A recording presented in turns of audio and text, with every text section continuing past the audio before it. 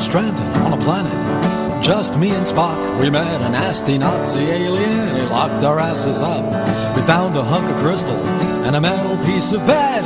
We made a laser phaser gun and shot him in the head. Bust a move, dog. I was standing on the bridge when Sulu came to me. His eyes were full of tears. He said, Captain, can't you see? The ship is gonna blow something I besiege. I grabbed a tribble and some chewing gum and stopped the warp breach.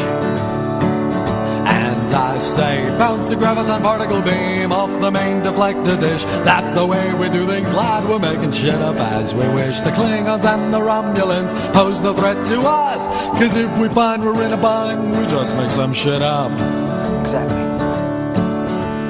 La da da da da da da da da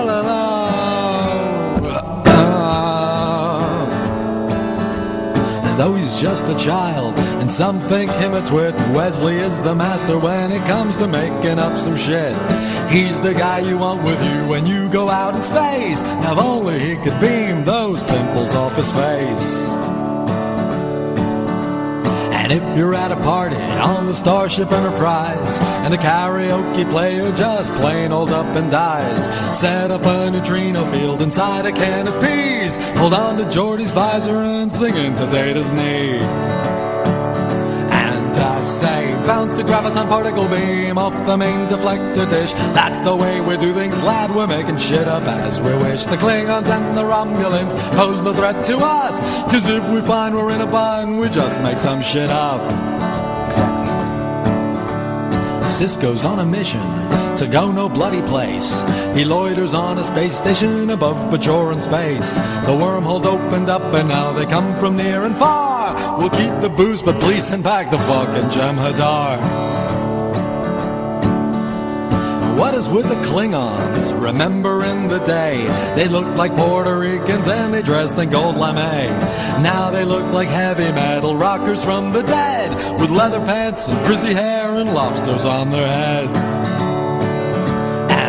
Say, bounce a graviton particle beam off the main deflector dish. That's the way we do things, lad. We're making shit up as we wish. The Klingons and the Romulans, they pose no threat to us.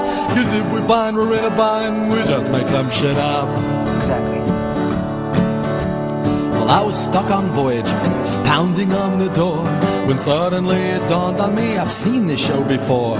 Perhaps I'm in a warp bubble and slightly out of phase, cause it was way back in the 60s when they called it Lost in Space.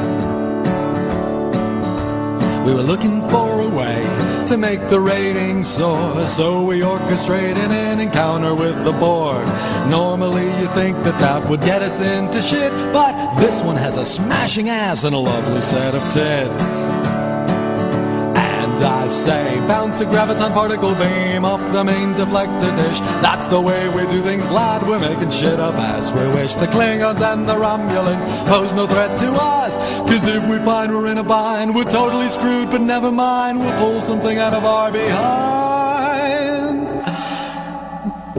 We just make some shit up.